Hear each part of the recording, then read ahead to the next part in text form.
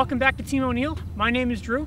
We're on a little bit of a field trip today. We've left the gravel of the rally school. We're down here at the pavement uh, at New Hampshire Motor Speedway in Loudon, New Hampshire. We're down here with our drift school.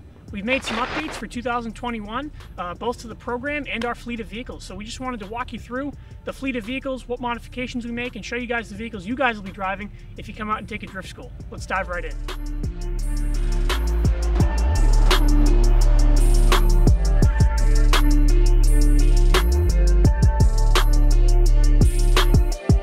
Okay, so the first car we're going to take a look at are these two cars. These are Infiniti G35s. These cars are mechanically the same as a Nissan 350Z, which makes them a really good platform for us in our different training purposes out here at the Drift School. We want our students to get representative experience uh, in a car that they might actually go out and buy and build and drift. So one of the things we do, like on all of our cars here at the Drift School, we make sure we fit them with good heavy duty recovery points like this.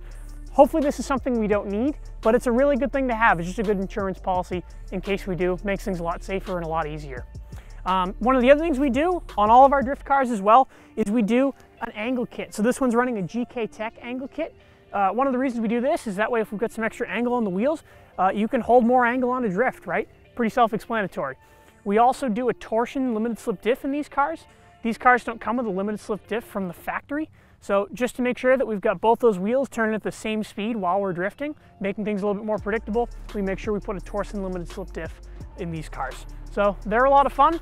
Uh, not a whole lot of mods, sticking with that Team O'Neil ethos of do what you can with a stock vehicle, but they're great cars to train on. All right, so moving on from the Infinitis, uh, we'll talk about some of our BMWs. For the last couple of years, we've been using E36 Ti platforms. They're great cars, um, but they're getting a little old. Uh, parts are hard to find. They're a little bit harder to, uh, to maintain for us running a fleet of vehicles. We're still going to keep using them, uh, but actually just to illustrate the point, they're actually not here right now. They're out getting fixed. So we've upgraded to uh, one of these. This is an E82 generation BMW 1 Series. These cars are a little bit newer. They're easier to get parts for, and they're just easier to maintain in general, but they're still a really, really good platform to drift on, like all these old school BMWs, whether you have an E30 or an E46. They're all really, really good. This particular one is running a CNC71 angle kit. As you can see, it's a pretty rowdy angle kit, right? So this thing's gonna be a huge amount of fun when you guys get out here and start drifting this thing. Uh, the BMWs are really, really good cars to have because they got a great straight six engine in them. They give a lot of really good feedback to the driver. All the sensations through the steering and the chassis are really, really good.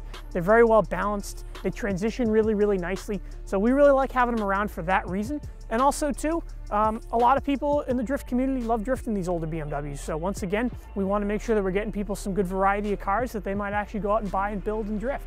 So yeah, these things are a lot of fun. No matter which flavor BMW you got, um, they're good cars to have around.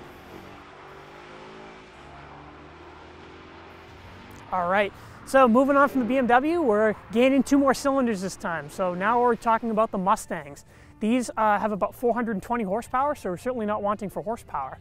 Um, the modifications we make on these cars uh, really all pertain to the suspension. The stock suspension setup is really not set up for drifting and that style of driving.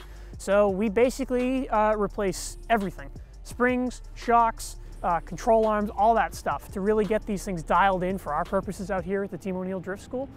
Like all the cars in the drift school, we do Schroth racing harnesses. Uh, we also do uh, the good Hawk brake pads that uh, bite at lower speeds. Um, so that way we can control the car really, really well, just at the low speed stuff that we're doing around here. Additionally, we also do a hydraulic handbrake on these cars. Makes things a lot easier when you're doing a handbrake initiation to have that hydraulic assist locking up those rear wheels.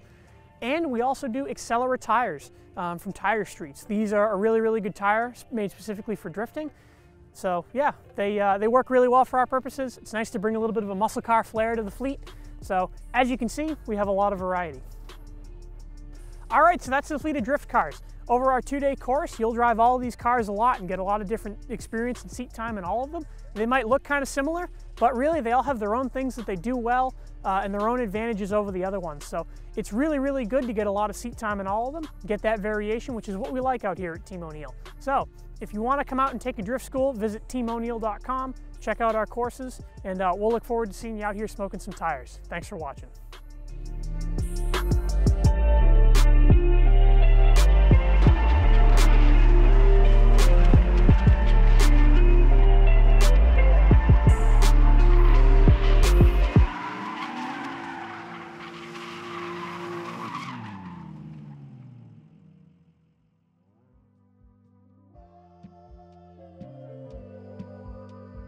Hey, this is Chris Cyr, CEO and partner at Team O'Neil.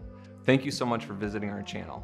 If you want to join our community, please comment, like, and subscribe. And if you want to learn more about us or book a course, please visit teamoneil.com. We look forward to connecting with you.